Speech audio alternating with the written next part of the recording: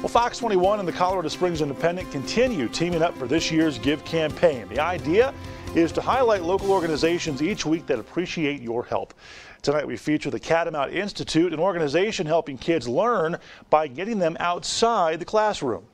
The Catamount Institute is an outdoor environmental education nonprofit revolving around getting kids outside during school, after school, and summertime programs. We take education and we add in a little bit of adventure. They say outdoor activity is a serious issue lacking in kids' daily routines. Children today under the age of 18 are spending as much time as they are supposed to be sleeping in front of screens for non school reasons. They're talking about seven to eight hours watching TV, playing video games, crucial time taken away from learning.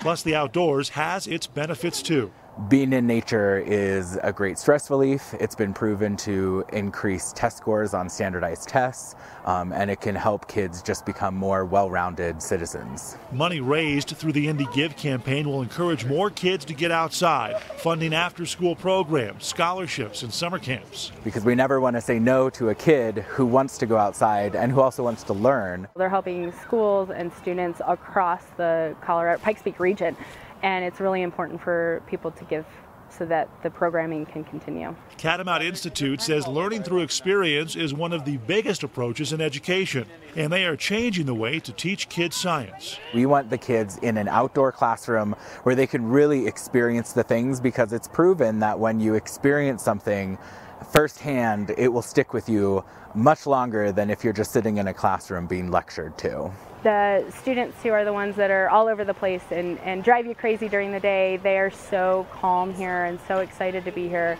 because they get to be one with nature and it's really important for them.